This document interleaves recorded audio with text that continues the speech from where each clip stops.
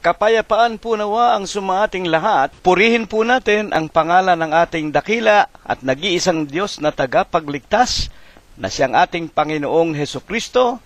Numero 72 po naman sa ating mga imnaryo. Iglesia ng Diyos kay Kristo Jesus, ang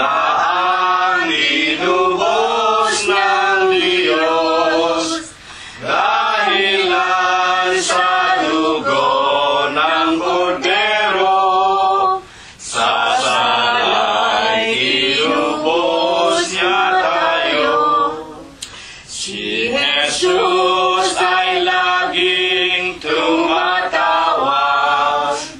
Aral niya ay ating itanyan. May lugod tayo'y magyakap-yakap.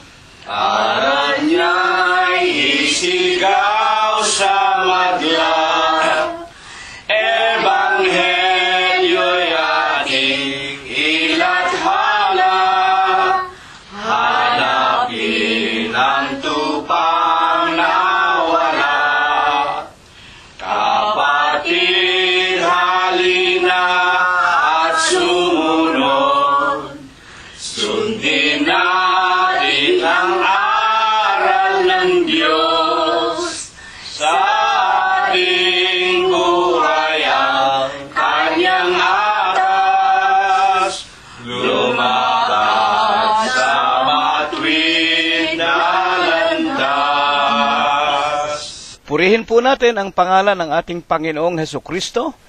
Maraming maraming salamat po sa inyong lahat hanggang sa darating po muli nating sama-samang pag-aawitan kung tayo po ay binubuhay pa.